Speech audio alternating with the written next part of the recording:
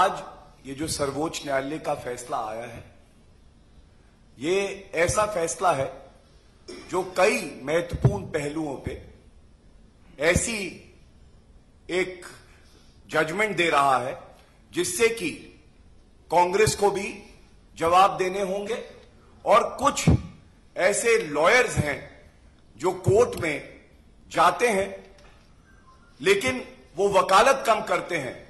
और कोर्ट को धमकाने का काम ज़्यादा करते हैं आज कोर्ट ने अपने फैसले में, अभी फैसला पूरा आया नहीं है, उसको हम लोग अध्ययन करेंगे और पढ़ेंगे, लेकिन जो बातें कोर्ट में प्रोनाउंस की गई, वो सामने आई हैं, वो मैं रखना चाहूँगा आपके बीच में।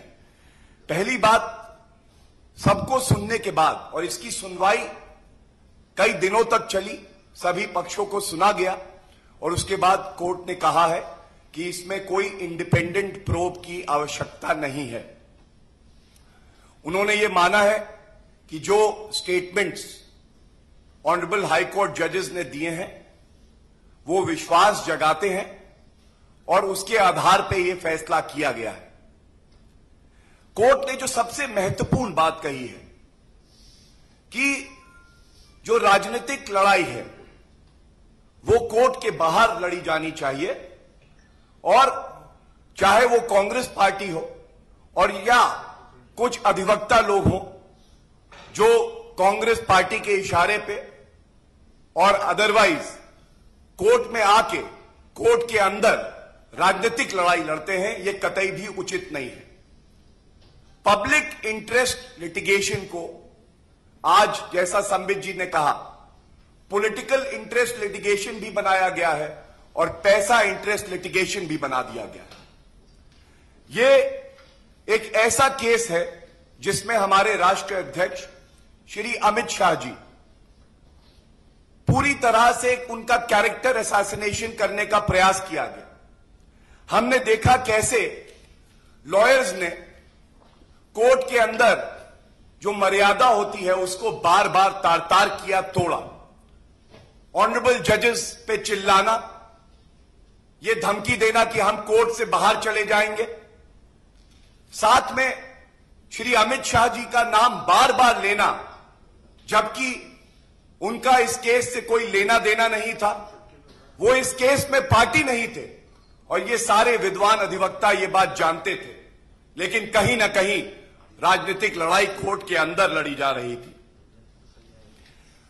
दुखद यह है कि एक मामला जो लंबित है, जिसकी सुनवाई चल रही है, उसमें क्या निर्णय आए, इसको सुनिश्चित करने के लिए ये जो अधिवक्ताओं का एक समूह है, ये शाम को टीवी चैनल पे बैठ के लाइव डिबेट करते हुए सर्वोच्च न्यायालय के जो न्यायाधीश हैं, उनके चरित्र पे, उनके कॉन्डक्ट पे रोज सवाल उठाते थे।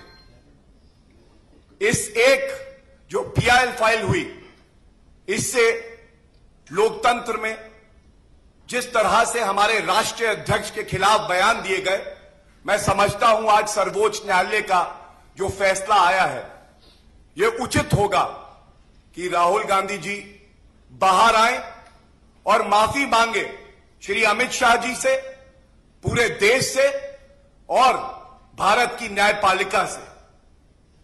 हम लोग भूले नहीं हैं कि कांग्रेस के दोहरे मापदंड क्या है। 2G का वर्डिक्ट आता है, ट्रायल कोर्ट, निचली अदालत का। तो मिठाई बांटी जाती है और कांग्रेस कहती है कि देखिए, हमारे ऊपर भ्रष्टाचार का कोई आरोप नहीं है। जबकि सर्वोच्च न्यायालय का 122 लाइसेंस रद्द करने का फैसला वही था। लेकिन आज जब सर्वोच्च न्यायालय का फैसला आता है तो अभी फैसला पूरा बाहर आया भी नहीं है। और टिप्पणियाँ की जा रही हैं कि यह फैसला गलत है, कोई और कारण रहा होगा। यह खुद में दिखाता है कि आज कांग्रेस की मानसिकता क्या हो गई है। और क्या ऐसा हो गया है कि सर्वोच्च न्यायालय से ऊपर आज श्री राहुल गांधी जी हो गए हैं? क्या ये मान ले, खाता ना बही जो राहुल गांधी जी कहे वही सही? और मैं एक बात और कहना चाहूँगा कि जो राजनीतिक दल होते हैं, जो अधिवक्ता होते हैं, उनकी ज़िम्मेदारी लोकतंत्र के प्रति भी होती है और हमारे संविधान के प्रति भी होती है।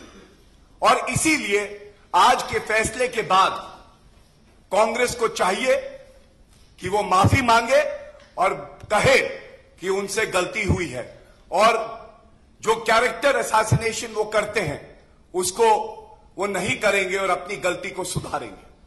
मैं इसी बात के साथ सबका धन्यवाद करना चाहता हूँ कि आपने हमें समय दिया और हमें पूरा विश्वास है कि आपके माध्यम से ये बात पूरी तरह से उजागर होगी और जो तथ्य हमने रखे हैं, श्री अमित शाह जी के बारे में कि कैसे उनका कैरेक्टर असैसिनेशन हुआ, जब वो पार्टी भी नहीं थे सर्वोच्च न्यायालय के सामने और राजनीतिक एक लड़ाई लड़ी जा रही थी कांग्रेस द्वारा सर्वोच्च न्यायालय में, और दूसरा जिस तरह से न्यायपालिका पे हमला हुआ है वो ज़रूर सामने आएँगे।